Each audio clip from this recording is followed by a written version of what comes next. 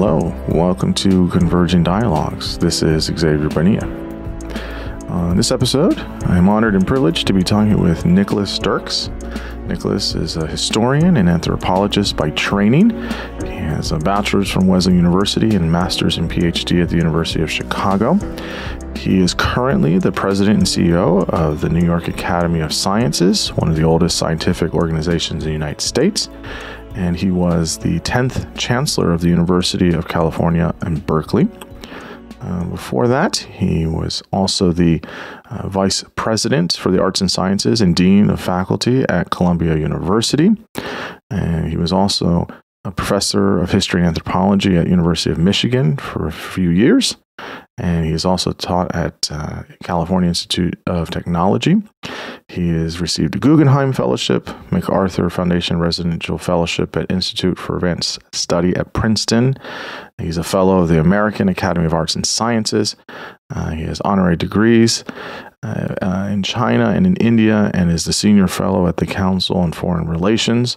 He is the author of four major books. He's edited at least three others, and with, along with numerous essays, articles, and papers. And uh, so he is quite established. Uh, we start this conversation by talking about his background as chancellor Berkeley um, and being the dean of various other academic institutions, and, and a lot of the experience that he brings from from uh, higher ed. We talk about some of the problems and solutions for higher ed. We talk about why we still need the liberal arts and the humanities. We talk about free speech and the ongoing culture wars, and really what his perspective you know, running many, many big um, higher education institutions, what his perspective is on on some of these uh, uh, cultural issues. We, towards the end of the conversation, talk about COVID and the whole "trust the science" slogan, and really, we talk about you know misinformation and disinformation, but we talk about how to have accurate um, and effective um, science communication and why science communication for the public is really, really important. It's something that I feel passionate about. It's something that he feels passionate about. Um, and so we talk about that. I got to say, it was really, really uh, wonderful to talk to Nicholas. He's a, a brilliant uh, person. He's uh, absolutely uh, wonderful, and very nice, um, and, and, very giving of his time. And uh, I really, really did enjoy uh, the conversation I had with him uh, and really just kind of downloading his experience and wisdom and knowledge. And so it was it was an absolute honor. Uh, as always, you can get uh, this conversation and all other conversations at my free Substack, convergingdialogues.substack.com. So subscribe over there. And uh, now I bring you Nicholas Dirks. I'm here with Nicholas Dirks. Uh, Nicholas, thanks so much for coming on the podcast. I'm looking forward to talking to you. I'm looking forward to talking to you. Great to yeah. be here. Yeah, yeah, of course, of course. So, uh, for listeners that don't know who you are, um, kind of uh, say what your kind of potted biography is. Uh, so, what is your, uh, what is uh, kind of your experience, your background, um, you know, kind of I guess historically, and then I guess more recently, uh, and what you're thinking about and writing about these days. Sure. Yeah. So, you know, my background is basically I've been an academic almost all of my life. Uh, I got um, interested in India when I was a kid and spent a year there. So I got to studying things about India when I was in college and then went on to basically do a PhD in South Asian history and anthropology. And um, that's what I did. I, I, I spent a lot of time in India in the 70s and 80s in particular doing research on things ranging from the nature of the caste system to the history of different kingdoms and the kind of uh, nature of both the state and society and the relations between the two. Uh, and I taught at Caltech, which was great for somebody in history and anthropology because I got to teach these incredibly smart students who were hmm. staying up all night to do their physics homework for Richard Feynman. Uh, uh, but then I, I moved uh, in the mid 80s to the University of Michigan, or late 80s to the University of Michigan, hmm. set up a joint PhD program in history and anthropology, my two disciplines, but also to make it possible for students to study in a kind of cross disciplinary way. Hmm. Uh, for my sins of succeeding in building a program, I was uh, recruited to Columbia, where I chaired the anthropology department.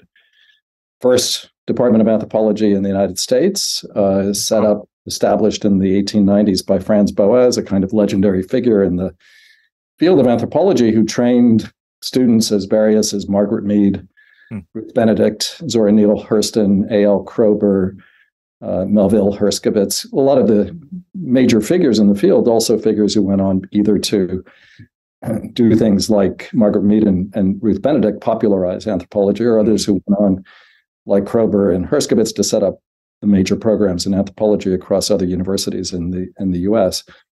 Uh, and um, once again, uh, had a good time and did I think some good things. So uh, the president, who just had come in from the University of Michigan, asked me to become the dean of the Faculty of Arts and Sciences. So I wow. had to hang up my, uh, you know, my uh, fieldwork hat uh, and uh, uh, reduce my time in archives, and became the dean of the faculty of faculty in 30 different departments.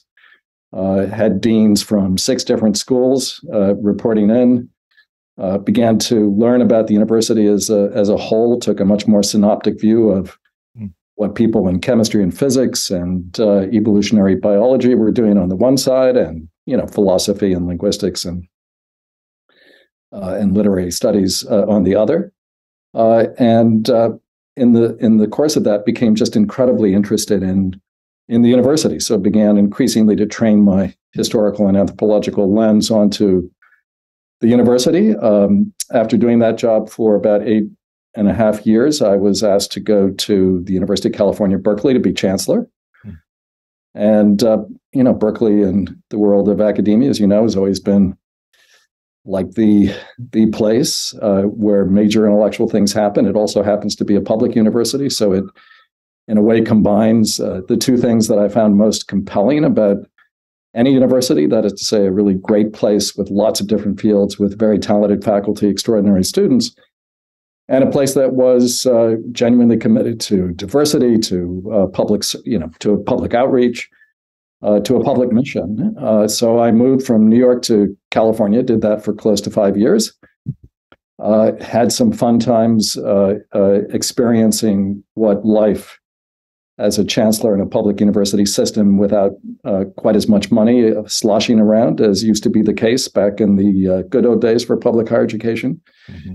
Uh, found myself uh, in interesting conversations with uh, people from political backgrounds I'd never really interacted with before, people like Jerry Brown, governor of California, on the one side, and Janet Napolitano, president of the UC system, on the other, former Secretary of Homeland, Security, and of course, governor before that of Arizona so I did, that, and uh, after uh, after doing my uh, my time on the front front lines, I, I stepped down.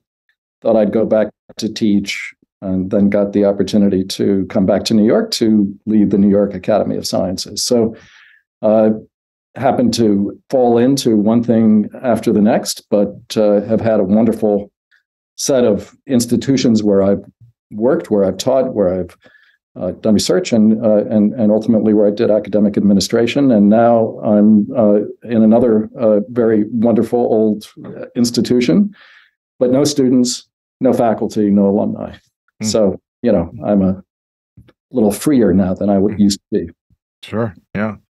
This is quite the career. It's, it's, it's incredible. It's, it's uh, really, really incredible.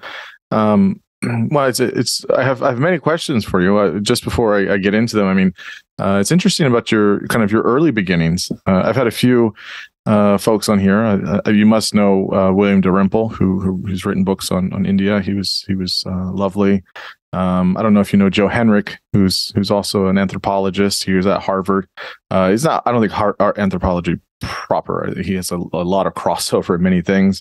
Mm-hmm. Um, so yeah, I've, I've, talked to a lot of different people in that old, uh, in your kind of like uh, early part of your career, and um, I, I, am curious about your time at uh, at Berkeley. Of course, I mean, obviously, I was known as the kind of you know free speech. Uh, uh, you know, kind of uh, oasis of sorts in the 60s and 70s, and I know it's had a lot of evolution over the past couple of years. So it's, it's very interesting to hear um, you know, kind of from from your perspective, and then yeah, about your work now. I I guess the the question here, the thread of all of that is, it seems as you were mentioning there that now your focus or your aim is on how do we communicate good science to the public, right? Especially if you're being part of the you know, New York Academy of Sciences. Uh, I guess that bit of it, and more broadly, what do you see as kind of you know this part of your career, uh, kind of your major uh, points of emphasis? Yeah, well, thank you. You know, um, just speaking of Berkeley, and we'll get to that in a minute. Uh, some of it is evolution, and some of it is revolution or revolution. So, uh, you know, those two things kind of exist in point counterpoint uh, when you're when you're thinking about Berkeley as a as as a kind of iconic institution.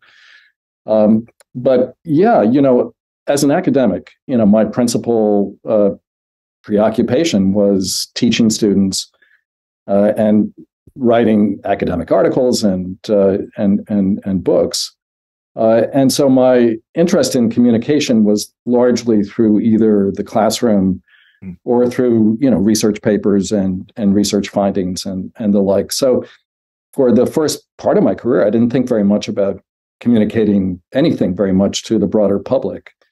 Uh, you know, obviously, like any uh, any anybody growing up in the '60s, I, I uh, uh, you know, I had a lot of interest in the world of public affairs, and uh, the first time I ever uh, went into the office of a president of a college or a university was when I was not invited, but went there along with my fellow students as an undergraduate to protest military recruitment on campus um, around the war in Vietnam. Mm.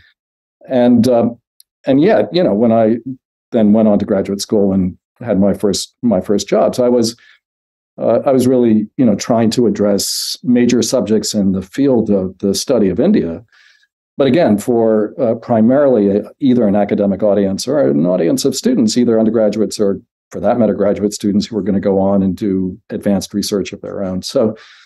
Uh, it was only really first at Columbia and then really at Berkeley that you know I began to think about the need to communicate to the public more broadly. Mm. Uh, and of course, as a chancellor, you have to do that all the time. Uh, you're particularly in a public university.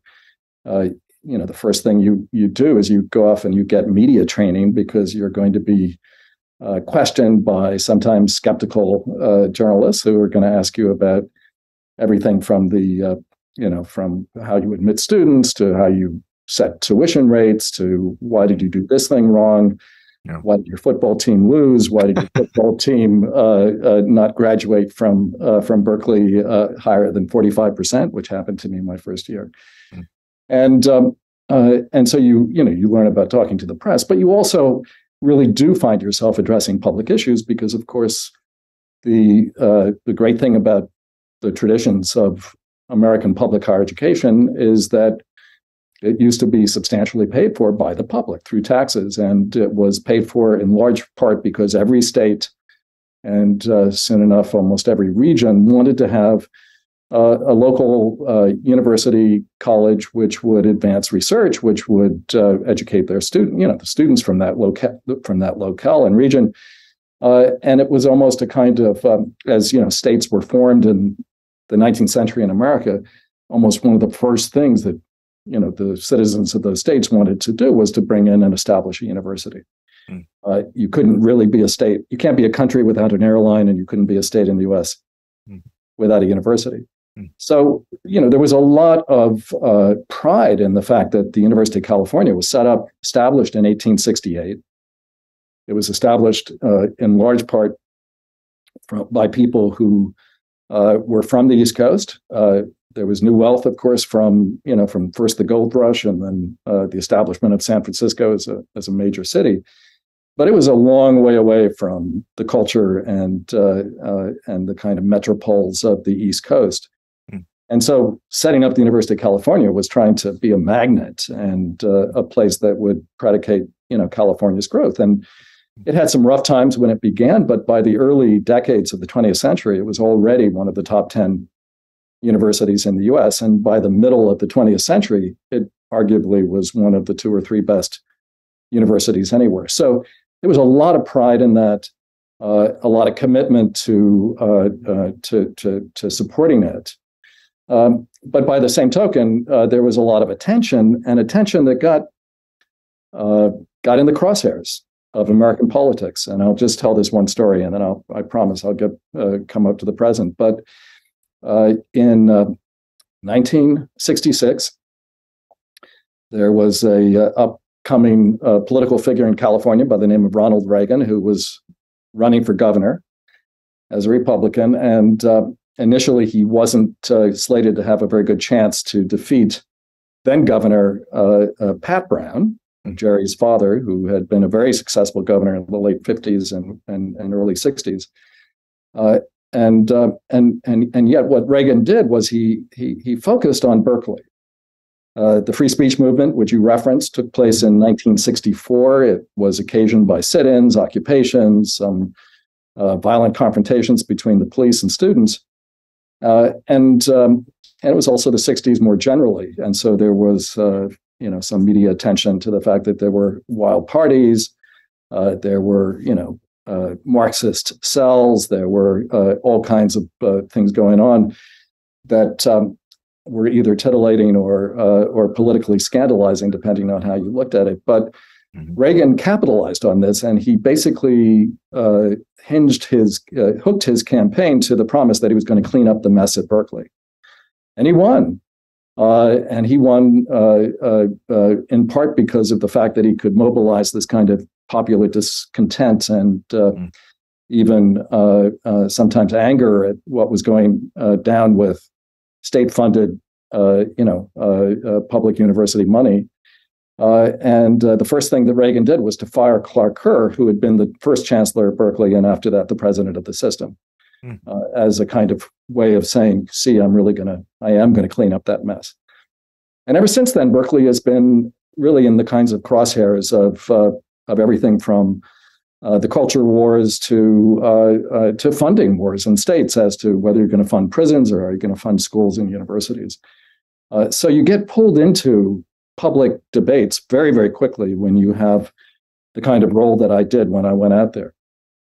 And I found myself having to think much more about, you know, telling the public about the important uh, and really valuable things that the university was contributing, not just to the world, not just to its students and faculty, but to the citizens of the state of California. Mm-hmm. Well, that, that's that's what I want to want to ask you about. So I, I talked to a, a, variety of people, you know, here and and you know, obviously privately as well, and everyone's kind of got their finger on this problem or various problems of higher education, and it's in everything, right? It's in how we admit students, uh, various discrimination lawsuits. It's mm-hmm. in um, um, the funding that's that's there. Uh, something that, again, as a you know a professor part time of sorts, you know, uh, and other folks that I talk to that are professors or instructors, is obviously you know wages can always be higher for teachers, but that aside, is more of this lack of emphasis on quality of education in the classroom. Uh, many things are done to meet certain benchmarks or to just pass people or various ideologies get in the way and that's more important. So uh, there seems to be a lack of quality education uh, generally that there's a dip in that. Not to say that there isn't. Schools that obviously still have good education. Of course there are but um, so there's all these issues and i guess just kind of the 30000 foot view what do you see currently in in academia in in higher education uh, at large that are some of the the major issues uh, institutionally and and and uh, what are some of the ways you know how we get there you know and and what are some ways i guess out of it that you might uh, you know have ideas on? Yeah well you know again coming up to uh, the present uh, what i was talking about was in a way the beginning of the culture wars and they have only escalated uh, and uh, in those culture wars the universities play a very very big role as you just said yeah. Uh, and of course, that role has only grown uh, over the last 20 years as you've seen uh, uh public universities substantially raise tuition. Uh, of course, state funding has gone down Uh, you know, there was already uh, massive defunding of some public universities beginning in the 90s. But in the 2000s, and especially after 2008, after the big Great Recession of 2008, 2009, states just couldn't keep up with the um, with the with the demands of of of of of, of its public higher higher education system. So, you know, state funding was uh, was diminished and uh, tuition went up. Meanwhile, private university tuitions have been going up by three, four, five percent a year, and you get a number of private universities, including the one where you teach, uh, which crested not too long ago over fifty thousand a year for tuition. Right, so. Mm-hmm. mm-hmm. So you have these these these huge uh, uh, um, uh, levels of tuition. In 2011, 2012, I think for the first time, student debt in America, the cumulative total of student debt climbed over a trillion dollars. It's now up at about 1.6, 1.7 trillion. Oh yes. and uh, yeah, you sound like you know something about. Oh, I know. I know a few things about that. I make my payments every month, so.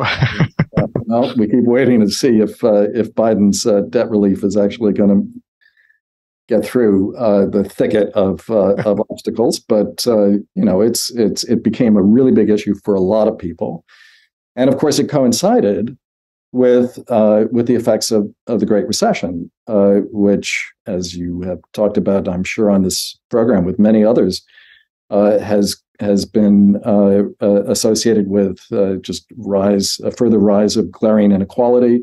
Yeah. and um, and and and and and the growing precarity, not just of the middle class, but of the you know the college of the uh, recent college graduates, uh, many of whom carry huge amounts of debt. Uh, at the same time that they're not getting the great paying jobs that they used to get. At the same time, too, that if they majored in things like English or history or anthropology, they were told, you know, why didn't you major in something that actually gave you skills like business administration or computer science? Right. Uh, and um, uh, and and so you've had a kind of double, triple, quadruple whammy hit the university where costs go up. Uh, sense that uh, the university is not actually uh, fulfilling its side of the bargain by preparing students for actual jobs in the economy that exists, uh, and um, and all the while, even when they get jobs, getting jobs unless you know they happen to go into the avenues that lead to the one percent, uh, uh, not only don't help to pay back your your debt, but don't give you the kinds of things that a university education used to be assumed to give you. And you know, at the same time, all of that is happening. Uh, you have colleges and universities, some of which you know are are, are ramping up their tuition and trying to uh, recruit students. Uh, increasingly, recruiting students has become difficult as we experience a kind of demographic transition. Uh, and um, uh, and so you know, there's uh, been in some instances a lot more emphasis, and this is obviously the uh, stuff that gets talked about all the time. More emphasis on climbing walls than on actual, uh, you know, uh, deep instruction in the classroom that would really prepare a student to um, to enter into a, a, career that would be both meaningful and remunerative over their lifetime. Yeah, well, well, that's just it. I mean, so many people will say, "I'm not going to get a four-year college degree, have a hundred and some thousand dollars in debt, and I'm going to get paid, you know, fifty thousand a year, and I can just learn all that stuff on YouTube anyway. So it's fine. I'll just watch a couple of videos and you know read a couple books, and I'll be fine. It's the same thing because you know when I see my friends, you know, and they're taking courses, like it's like terrible. It's not even, you know, and there's and there seems to be so much cynicism around. Mm, uh, I don't want to say a need, but a, a really good emphasis on how much a college degree, at least, or even sometimes a graduate degree, is important. Um, I guess one piece of that is you talked about it, is many people have disdain for or some kind of condemnation for the arts and the humanities, you know, what is liberal arts or whatever, or the social sciences in some ways. And so, I guess from your perspective or your vantage point, um, you know, there's obviously this push for a kind of multidisciplinary kind of approach, you know, and, and many people are doing that, you know, in, in, in, my field of psychology and sociology and anthropology, we're all trying to kind of meet at the same table essentially, right? And not be in our kind of separate corners. But what do you think now in a, a very uh, technological age and a digital age is the still the need or the what's the case for having liberal arts, humanities, uh, and, and various uh, so, some social science programs. What do you think is still currently, even with fears of automation, even with fears of uh, many things in the technological age, that we still need uh, liberal arts and and uh, sciences, uh, social sciences, and humanities programs?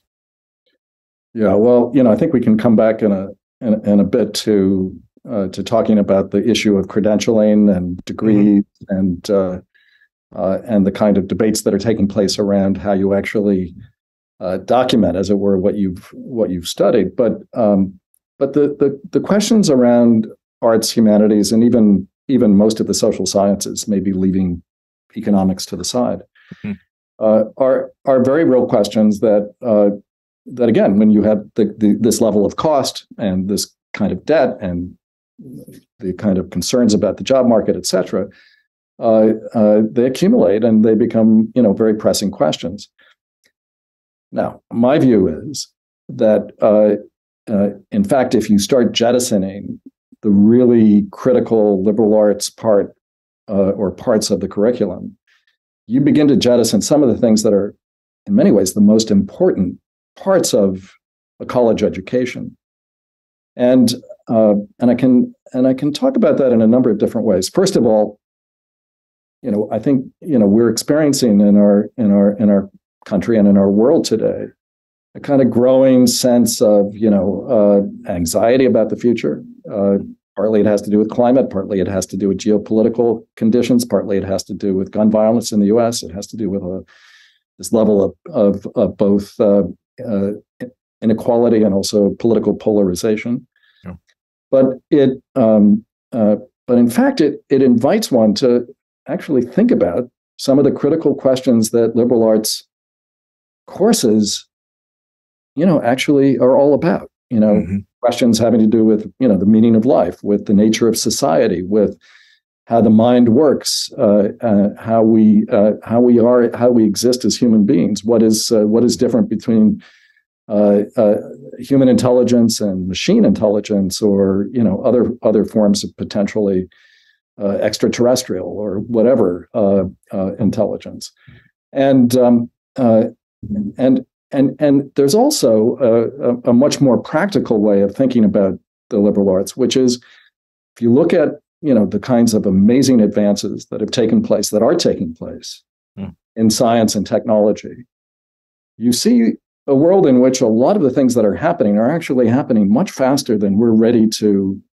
deal with or understand, yeah. comprehend, or engage in a kind of meaningful way. Take take what's happened just over the last two three months in Chat GPT 3 mm-hmm. Yeah, natural language processing uh, has just made this incredible sort of step function advance, and all of a sudden people are uh, writing. Um, papers there uh, you know there was a strategic plan for a university that was very credible that was produced by chat gpt-3 just a couple of weeks ago there's a, a sense that uh, you know maybe we won't need to teach writing anymore because you know the computer can do it hmm. on the one hand but on the other we know that uh, that machines uh, uh, uh however you know talented the algorithms uh, the, the, the the writers of algorithms are who are you know who are producing these these new natural language processing programs might be that the machines actually don't have any kind of moral compass. They don't they don't know how to make judgments uh, apart from what's put into the algorithms themselves or into the databases that are feeding these these programs. And you know what they say, you know, garbage in, garbage out, and that's why we've seen so much in the way of bias. That's why we've seen so many instances of uh, of everything from uh, uh, facial recognition to uh, you know to again to Chat GPT three reproducing, if not actually exacerbating stereotypes, mm. racial, gender, uh, uh, etc. that you know immediately make you think, well, wait a second. If these machines are so talented, and we just sit back and let them do all the work for us, what's going to happen to our world? It could potentially get even worse. And the need for a kind of moral voice, a moral uh, uh, questions of moral judgment, mm-hmm. Uh, human participation at the at the most fundamental sense, uh, in thinking about the future of our technology of artificial intelligence and almost every one of its potential applications becomes all the more pressing. And I think uh, uh, uh, makes it very clear that if you just you know decide to get rid of the liberal arts, you could find us in a in a much worse position. And then mm. the last part of this, again, even more practical, is the fact that when you talk to people, as I did as chancellor at Berkeley, and I do now at the New York Academy of Sciences, people in, in the world of, of, of tech, they say, you know, uh, AI is going to start uh, doing a lot of basic coding.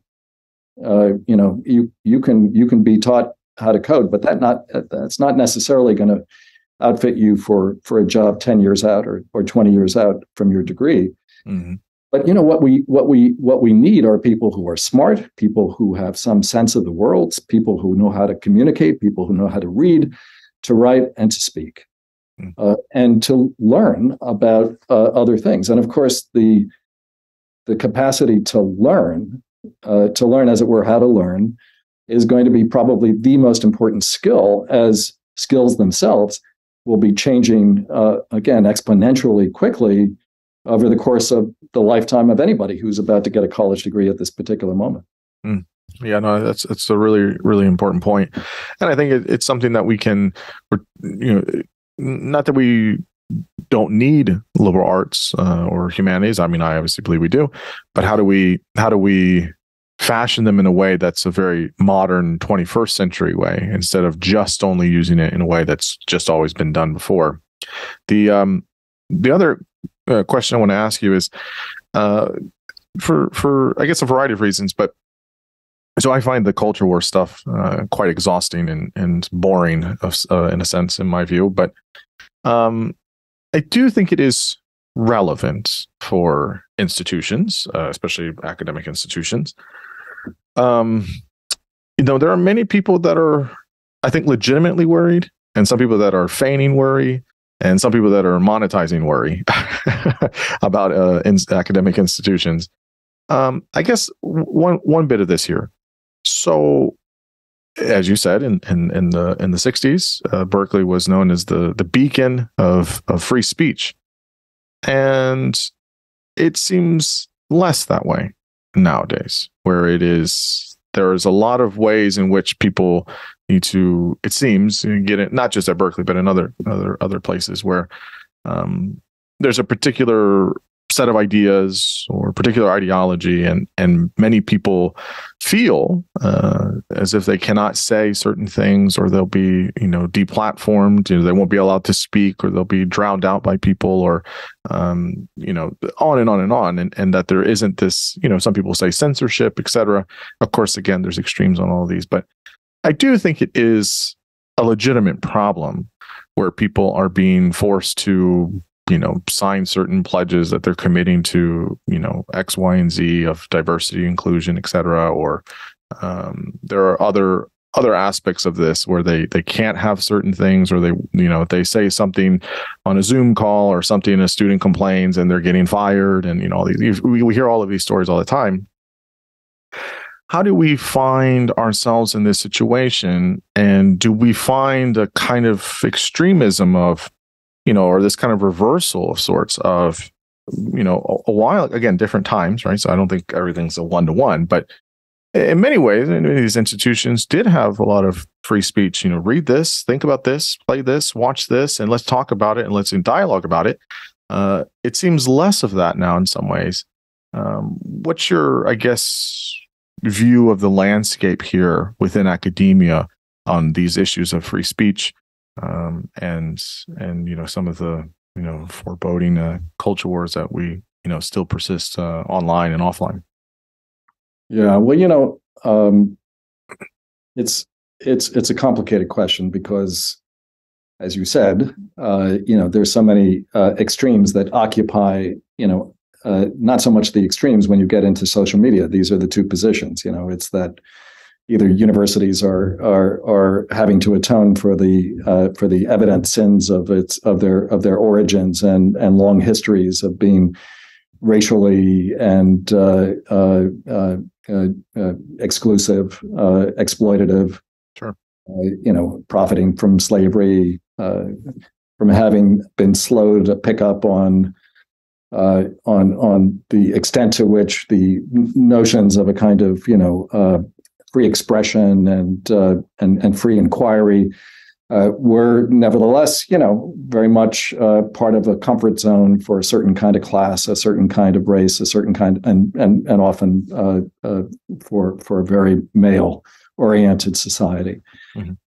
And so you hear that, or you hear the examples of you know super woke this and super woke that and and and and the idea that of course nobody can actually have a debate on a college campus anymore now to be to be uh, clear um, at berkeley i had to deal with a number of very tricky situations including one in which uh, uh, the uh, a student group it happened to be the berkeley college republicans but it was a student a bona fide student group invited milo yiannopoulos to come to campus. Yeah.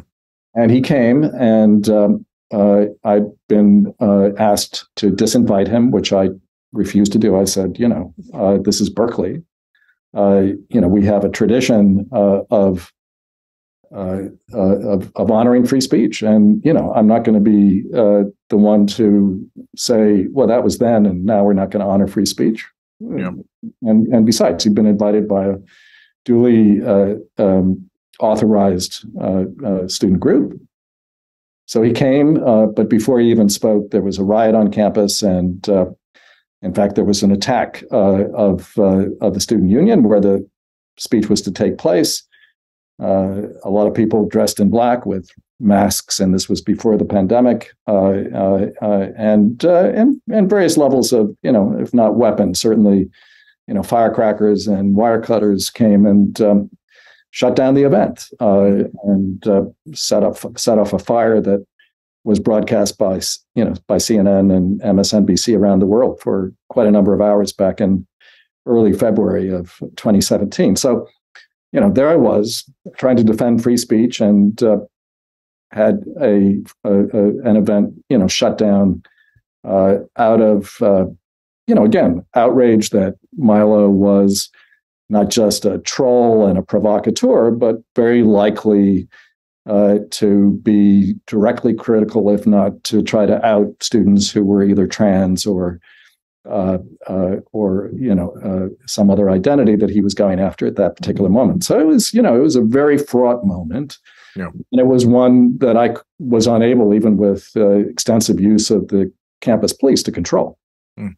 Now, I say that because you know I've seen uh, excess uh, and I've seen it up close, and uh, uh and and and and and and very personal in the sense in which uh, you know I got I got shellac from both sides for uh, a inviting him and then you know b you know having this violent event take place, even though the violence was actually enacted by people who were trying to shut it down, not by the people who were trying to keep it going. And that led then to a series of events like that that cost the university a huge amount of money to try to continue to operate, you know, as a as a as a place that honored free speech. But having said that, you know, I, I have to go back to the 60s where, you know, there was a lot of noise in the 60s, even around free speech. There were people contesting not just in polite debate, but in uh, somewhat uncivil uh, uh, um, uh, dialogue as well. Uh, and you, you also have to, I think, see some of this as a process. You know, there are a lot of new people uh, on college campuses. There are a lot of new groups that have been aggressively recruited to fulfill diversity uh, missions and agendas, but who then feel like they're being used simply to say, "Oh, we have this many, you know, X, and we have this many Y," and they're saying wait a second we're here. And you know not only that we have we have these views. And so people are engaged in a kind of politics of contestation that is um, that is unruly. And my sense is that you know there are clearly ex, you know excess there's excess on both sides. I, I, I take that point. But you know that's sort of how history happens. And uh, and I do think that we have to try to take a slightly larger view of you know what we call you know these campus wars or culture wars and and and and, and see it as as part of a historical process where people are are experimenting with with being given the opportunity to to to have a voice albeit a voice that might be very loud on the college campus and it might be very very quiet if you're being beaten by a police officer if you're trying to be part of a demonstration somewhere where the police and possibly even a village vigilante group or two are trying to shut you down. So, you know, it's that it's that tension as well between you know what's uh, what's going on on campus, what's going on off. So I just mean to say that you know I think um, it's very easy to get get caught up in the kind of you know the examples of the moment that seem so clear. Now, you know, there are examples from the last couple of weeks that I think uh, are uh, are, are examples that you can you can simply say that's a kind of excess that you know that you find problem uh, problematic and troubling. Case of of the art history lecturer at Hamline University in in in uh, St. Paul. Uh, you know, for example, I, I think that was uh, overreach on the part of the administration. But again, you know, this is something that is now being you know publicly publicly debated. There's a lot of pushback.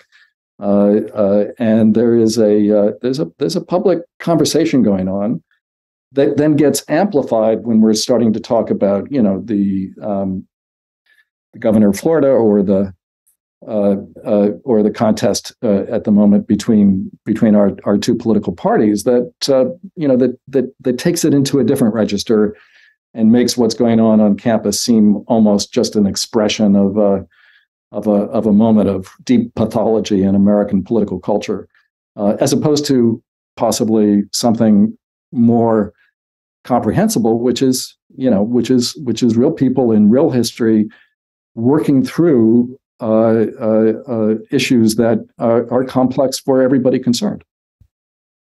So I, my question here, I have two two parts, two follow ups here for this is is there i'm not convinced of this. Not, i'd be curious to, to, to hear your thoughts on this.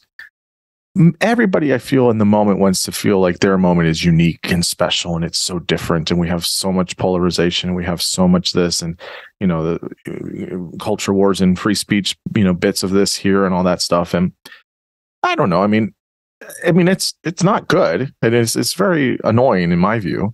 Um and, and i think it's really harmful for a lot of other people right I mean, and I don't like this comparative analysis, but like, I mean, things were really bad in the 60s and 70s too. And that wasn't, you know, what is it, 50 some years ago? I mean, it wasn't, I think each moment has its own thing. So I guess there are so many people that love to make this like, it's never been this bad before, or it's so unique now. And I don't know if you, what your thoughts are on that, if you agree or, or disagree with that. And, and second to that is from a, from a higher educational institutional perspective, it must be super difficult to try and walk that line. And everyone's a critic, right? Everyone, you're gonna you're gonna get shit either way, right? I guess in a, in an ideal, not an ideal world, but practically speaking, you know, again, each institution obviously is going to do certain things, and obviously, who's you know, you know, paying the bills and stuff obviously comes into play. I, I get all that, but practically, I guess, from an institutional perspective, what can they do? How can we protect legitimate free speech, but also, you know, make sure that people's uh, claims are are heard, uh, you know, adequately as well. So yeah, I guess those two questions: Is it unique? Is it is it as serious as you know people make it to be from other times? And practically, what can I guess educational institutions, you know, do to try and have a balance of it uh, and not too extreme in one way of how they handle it?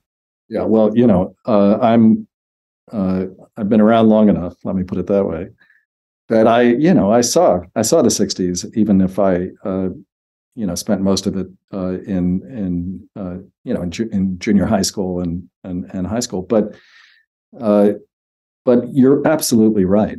I mean, those were those were days when there was a lot of a lot of a lot of concern, a lot of you know of, of tearing of hair and wringing of hands about you know uh, everything's going to be the university is going to fall apart, and in some ways the university was reborn out of that in a way that was very powerful. uh, and a lot of academic movements in the you know in the post 60s uh, uh, world took on board some of these political issues. And you know and it it was an exciting time. Certainly for me it was an exciting time to be uh, to be studying India and to be thinking about colonialism and, and empire and you know and and cultural difference and all of those things. So it is easy to exaggerate when you're in the moment. Uh, uh, what it's uh, you know what it means in terms of the the decline and fall of the world. But but universities um, can't just you know say you know we're going to sit back and wait. They have to obviously respond to the to the moment. And I think it's it's necessary within universities to acknowledge that there are contradictions between, yeah. for example, what we say uh, as university administrators about wanting to have a welcoming, inclusive culture on campus for everybody to feel uh, as if they belong on the one side, and the other to, to say there are going to be, uh, if you follow free speech, there are going to be things that are going to not just be offensive, they're going to be downright they're going to sound downright dangerous and and and and they even create trauma. So you have to just sort of acknowledge, I think, that there's that you're saying contradictory things. It's not it's not going to follow a single path. And when you acknowledge that, you can create, I think, the possibility for people to realize there is a complexity to all of these principles, to all of these statements that we make. And the whole point of a college education, which goes back to the liberal arts, uh, is to um, try to understand those contradictions a little more fully. Mm. So, so I, I, completely agree with you, but I think it's um, you know we, are going to muddle muddle our way through.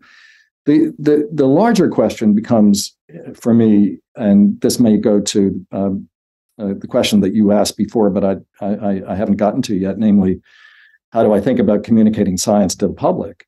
Um, uh, what can universities do to uh, uh, to represent themselves to the public in perhaps a slightly more uh, uh, adequate way, given the kinds of criticisms, the level of skepticism, the amount of disaffection that is taking place? And I think universities do have to worry about cost, and they do have to worry about access, and they do have to think more about uh, uh, even their own contradictions between you know how you um, uh, how you organize your workforce on the one side and how you uh, how you pay adjuncts, how you uh, how you use uh, academic labor, how you uh, how you how you set the prices for different kinds of things that you do, which is uh, what institutions, of course, end up doing, and and and to be more transparent and and and perhaps more responsive around some of the kinds of criticisms that are out there. Mm. I also think that um, some of the structures that we have in universities tend to uh, be a little bit too resistant to change. Okay, so you uh, you and I both come from different parts of social science, mm-hmm. but you know the truth is that we're all looking at the same problems, if from somewhat you know different but adjacent points of view. Right psychologist, you're obviously thinking about individuals in a particular way. When you come from anthropology, you're thinking about the social or the cultural units within which individuals operate. If you're thinking as a historian, thinking about these things over time. But, you know, by the same token, the disciplines have sometimes been, you know, sort of um, insulated off from each other uh, because of the professionalizing tendencies of universities to say this department can do that and that department can do that and, you know, the problems that we have today, the intellectual problems, the cultural problems, the political problems, and the economic problems require us to work much more together. You said, you know, to bring us all to the same table. Mm-hmm. We really have to take seriously uh, the extent to which we need to figure out how we talk to each other on campus so that we can actually talk with each other about the issues that exist off campus much more productively than we've been doing. Yeah, no, I, I fully agree. And I, I think that we can't let, I mean, a few things here. I, I can't, I don't think we should have necessarily ideas over people. We have to not forsake the humanity of individuals. And in that way, we have to, I think, have a, a an appropriate uh, segregation of that, which is, you know, ideas do can have power, but the way you combat ideas, good or bad, is with other ideas. It's not by saying we never talk about that. It's not by saying, you know, we don't talk to those people or let them talk. And we definitely don't ostracize or stigmatize people for certain ideas. We definitely don't do bans. I don't. I, I'm not really a fan of most bans. I have to really think of a few that I, I guess I agree with. But, and I think we just have to have this spirit of dialogue, where at the end you could still be at the same place, but you're having that uh, conversation. You're building on on relationships, and I think that on on on both sides of this is a lot of radicalization and, and, and polarization, which is uh, regressive and juvenile uh, as a society, and, and and and you know it's it's surprising when when when folks do this, and and uh, you know, and and I think it just it just you know who's gonna who's gonna up the ante, right? You know, well, you know, of course, you know, I'm gonna put it at a seven. Well, now I'm gonna put it at an eight. Now we're gonna put it at an eleven, and it just keeps going, and it's not helpful, and and it's uh it's very frustrating, and you know, it, but you know, we we have to you know keep trying, obviously, which which leads me to my my final question. Of course, we could spend hours talking about this. I, you know, maybe there's just kind of the uh, the the synthesized version here. I know you've been thinking about this. Is you know, obviously we had a pandemic for for for you know it's still ongoing. It was the worst of it was for the first two years, I think, two and a half years, and you know we're we're doing a lot better, I think. But oh my goodness, I mean the amount of absolute bullshit that was just fed, you know, on twenty four seven um, from people that have you know podcasts and from people that have you know obviously any kind of social media people going online and look i mean uh, uh, just uh, i'll last point and i'll give you some runway people sometimes will combat and say well you know trusting the science was you know was garbage and you know they said it you know vaccines weren't going to you know going to make you invincible and all these things and and i've told people this and it just I'm not an epidemiologist. I don't have a master's in public health, but like it's not that complicated. And I'm not saying this to like, you know, folks that you know don't have higher education. Or something. I mean, these are people that are like, you know, other PhDs that are, you know, spreading misinformation, disinformation, which is the fact of you have a, a, a novel coronavirus. Corona, uh, coronaviruses have been around. There's a family of them, but we, we have a novel coronavirus that's a moving target, right? What's true for three months with the data we have is most certainly going to change in six months, is going to change again in 18 months. It's still evolving. We still have variants. And so, well, you know, it doesn't work. Or you know, you see, you know, and, to be fair, there were missteps uh, for sure, as as is going to happen. I do think the, you know, the, the the campaign of you know wear a mask and it protects you and everyone else going so hard on that probably past the point it wasn't necessary you know i think is is is you know okay that's a misstep there you know definitely all of 2020 it probably made sense but yeah i mean i think you know having you know kids in elementary school wearing it you know as you know late as you know last fall or something like that maybe was a little bit much or you know there's there's ways to talk about this stuff but it's just this idea of we can't trust any of it we can't trust any institutions anymore we can't trust any any medical institutions is really problematic because in many ways you know we, we definitely dodged that bullet with SARS in in 2002 or whatever it was. You know we kind of got the the the worser version of its you know evil new cousin this this you know past time but this isn't even close to a warm up for many other types of superbugs and, and parasites and you know airborne illnesses that are out there and could really do damage. And it just feels like we get a big F for this kind of you know training of sorts and and being sympathetic and, and being able to say like listen you know uh, scientists are going to make mistakes. Doctors are going to make mistakes. It's a moving target. We evolve.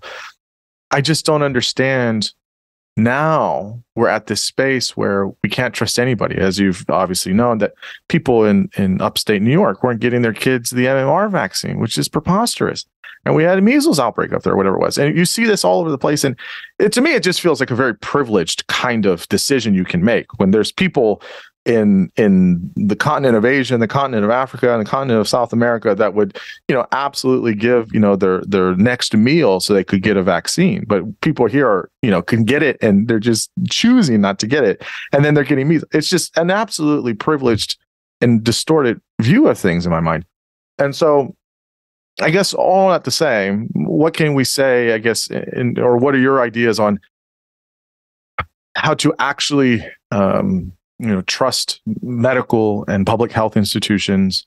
Uh, not necessarily trusting the science. I think again that was a bad slogan. I mean obviously part of science is questioning hypothesizing going back reworking it. I mean this, is maybe a bad slogan of sorts but you know how, how do we trust i guess the question is uh, institutions of, of, of medicine and public health and and uh, science again for for something like this or or, or many other things uh, that we need to rely on on folks that have spent their years and career doing this stuff. You're absolutely uh, great questions, and uh, you know, and on the one hand, uh, I thought initially, as I think many others did uh, during the early days of the pandemic, that the extraordinary speed with which vaccines were developed, especially, of course, the mRNA, yeah. but also, you know, also the the J and J vaccine and other uh, live, you know, live virus vaccines, uh, would have, if anything, uh, been you know great advertisements for the power of science in the 21st century. They absolutely, yeah. People would sort of say, "My God, you know, the science, you know, the science is." It is pretty amazing. Yeah. Speed with which this happened, as you as you know from prior uh, experiences. It took years, you know, to develop this. I mean, they were developing the first vaccine within weeks of getting the genetic coding for it in January and February of 2020. Right. Uh, and of course, it took time because of the clinical trial process, which you can shorten, but you can't stop if you're going to attend to human safety. And that was obviously a very critical and critically important part of the whole rollout. Um, but you know, I uh, I, I, think, like everyone else, uh, you know, we were we were looking at uh, what seemed to be uh, an extraordinarily public global demonstration of the power of science, and of course, here we are, as you've just described, in a world in which, uh, you know, misinformation, disinformation, uh, prejudice of different kinds, uh, fear, stroke, ignorance uh, has uh, uh, has enlivened, uh, you know, a, a, history of skepticism about science that seems to be just running amok uh, uh, everywhere and in places you wouldn't expect. I mean, it's clear that there are divides between those who have different levels of education, including college education. But even there, as you as as you also said, there there there there are disagreements and and and people who will just have a kind of default position of distrust and distrust that seems to be greater for vaccines than for some other kinds of medical treatments. Uh, you know, the vaccine really does, despite the fact that vaccines, whether the measles vaccine or the polio vaccine or whatever it might be, I mean, it's it's it's transformed human health. Yeah, transformed human health in some ways more powerfully than any other single uh, uh, uh, scientific invention. I think you know it's it's fair to say that that vaccines are correlated with longevity, uh, uh, perhaps more powerfully than anything else that that has happened in the world of, of biomedicine.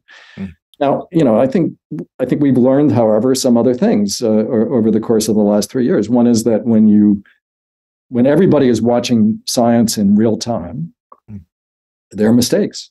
Yeah, people will say things, you know, that it's. Uh, uh, it's uh, it's spread by fomites. You know, you have to be uh, polished. You know, you have to uh, sterilize every surface uh, you know, the slowness with which masks were recommended, and then, you know, as you just said, uh, you know, the fact that masks were seen as uh, as a sign of your of your of your commitment to the body social, not just to yourself, uh, you know, took on then, of course, a kind of life of its own, as did so many other things uh, around around our public health responses to the virus. But but here, you know, it's it, it's it's it's it's again it speaks to you know how much complexity you can build into public outreach about things like the the meaning, nature, and truth of science.